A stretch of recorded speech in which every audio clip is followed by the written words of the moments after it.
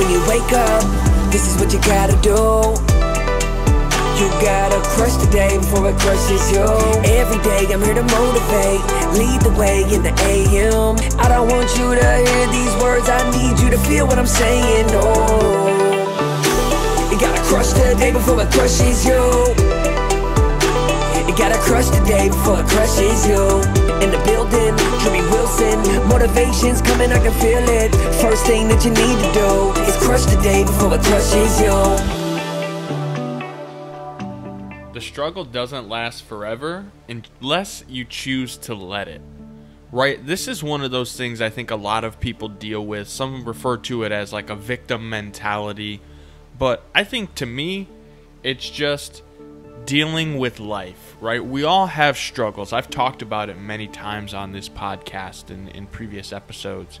We all deal with struggle, right? We all have things that we have to go through in life in order to become the version of ourselves that we want to become. But what ends up happening is as we're going through struggle, some individuals choose to let that struggle eat away at them and they stay stuck in it almost like quicksand.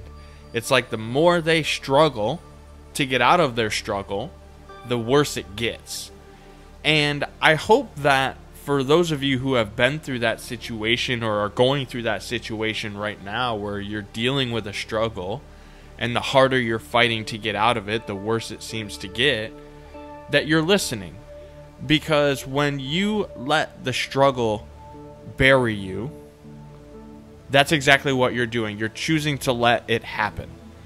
You have to stop. You have to analyze. You have to choose a direction. You can't just react to everything that life throws at you. You have to be proactive, you have to plan.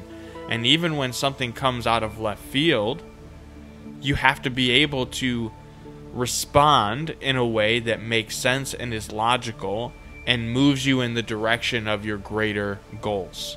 Right? What happens is a lot of times people will be on track, they'll be moving forward, they'll be doing the things that they're supposed to be doing.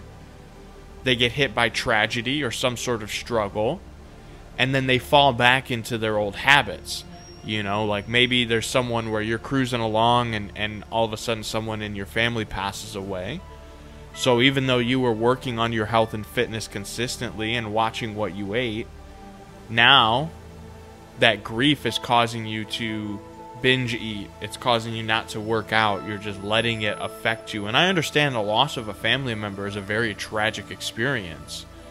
But a bigger tragedy is choosing to let that struggle stop you from your greatness, to keep you from becoming the person you were put on this planet to be. So deal with the struggle, handle your business, and get back to work because you were put on this planet to be somebody, and the only way to keep going is to choose the path forward. If you enjoyed this episode, be sure to go back and check out all the previous episodes.